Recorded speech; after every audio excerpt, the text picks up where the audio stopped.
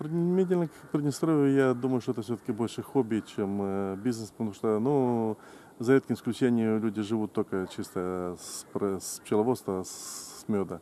Ну, это связано с реализацией в первую очередь. Э, Да, очень много молодежи. Ну, с каждым годом мы становимся все старше, а те, кто после нас, то уже получается помоложе. Есть э, увлеченные молодые люди, которые очень занимаются, очень скажем так, высококвалифицированные уже, очень грамотные.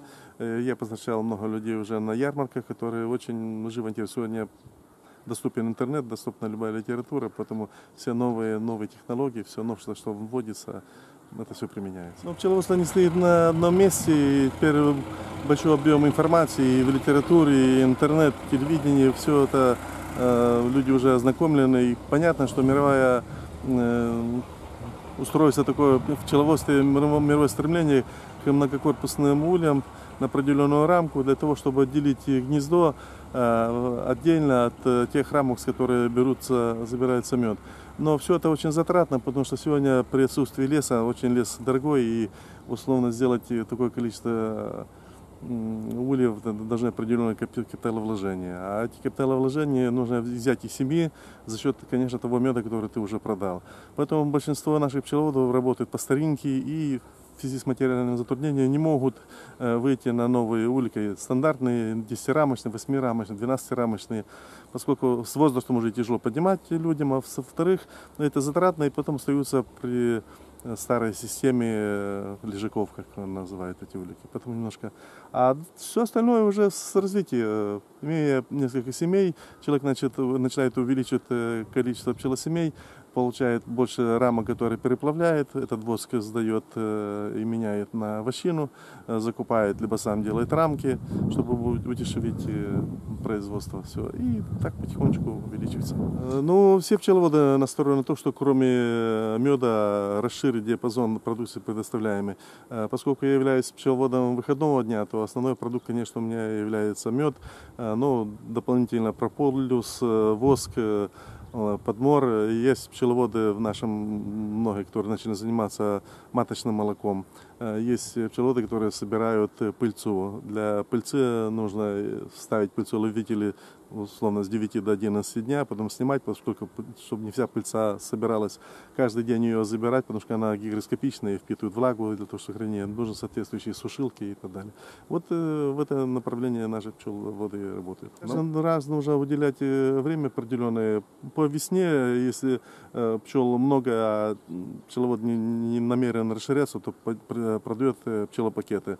Многие пчеловоды э, выводят маток и продают э, плодных либо неплодных маток. Э, Что касается маток, то у нас в регионе раньше были э, распространены, районированы, скажем так, карпатки и кавказянки. На сегодняшний день э, знаю, что наши пчеловоды закупают как из Германии, как из Италии, ну, по 46 э, до 101 евро за каждую матку, а потом уже разводитесь на месте. Купленные в Майкопе, значит, в Западной Украине пчеломатки, ну, подешевле, но тоже как бы гарантированы тем, что качественно. Отсюда уже э, с этих э, купленных э, одной, двух, трех маток пчеловоды разводят свое.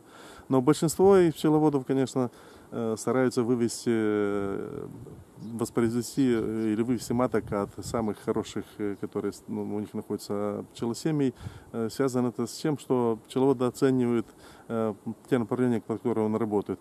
У нас, например, основной взяток это подсолнух и майский э, акация. К э, цветению акации нужно иметь сильные крепкие пчелы. К, к, э, э, подсолнуху либо гречке все эти семьи уже все наберут силу. А вот, чтобы семья набрала, собрала мед э, майский, нужно опр- определенное количество пчел иметь и сильную семью для того, чтобы были сборщики для со- собрания.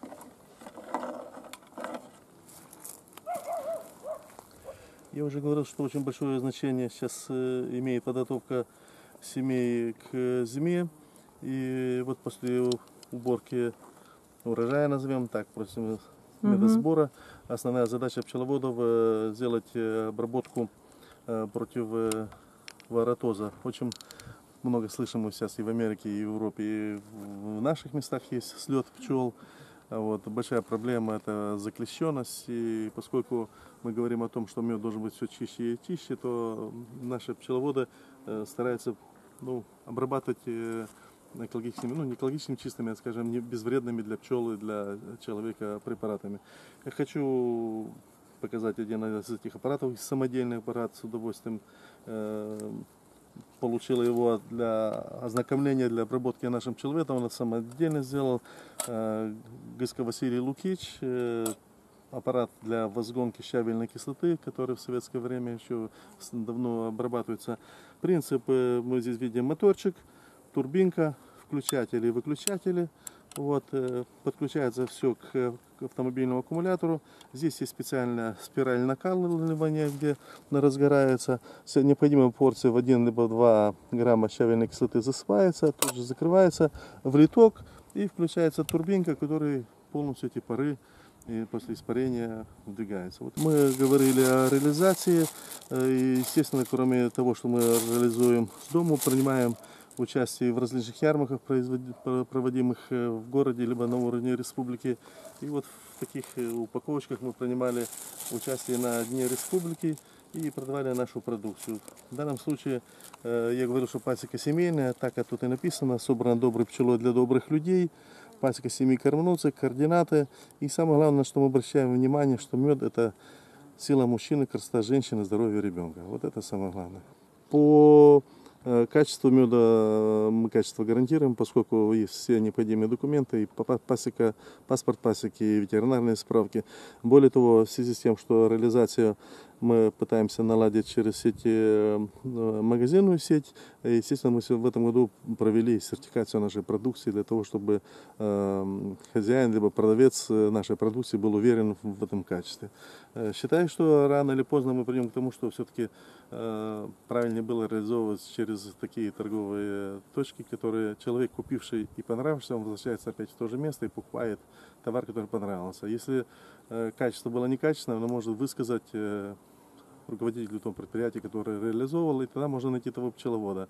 А на рынке это не всегда возможно, поскольку человек сегодня продал, ушел, и завтра его не было. Хотя наши люди, конечно, ориентируются уже на э, достоверный, на а, испробованный мед и покупают уже у знакомых им э, пасечников для того, чтобы быть надежным в продукте, который они покупают.